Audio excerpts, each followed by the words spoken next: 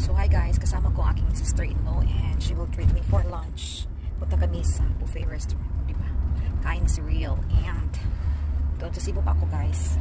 Marama talaga ako kumain ng utang, kinamos, bulan. Di ba kinain ko talaga yung, yung namimiss ko guys. Kaya yun kasi yung panlasa ko mga palanggan, no, yung kabataan ko guys. Uh, yun talaga nasanayan namin.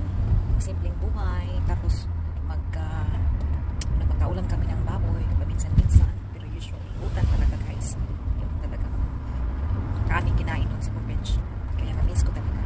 So kaya, and I'm satisfied. It's worth it talaga no. And yeah, doon ko guys. So, kita ko lang yung aking amahan. Okay naman ko guys. Yun talaga yung passion ko this year.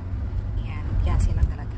Yan talaga mga palanggan ko kasi um, matanda na siya and kailangan talaga natin laanan ng oras para walang regret later on. Kaya ginagawa ko ng fest. Thank you Lord sa bakasyon. Safe lang siya, sulit na sulit. And yeah, pasensya na sa mga kaibigan ko next time ulit guys. Maglaanap ko na ko ng oras next time.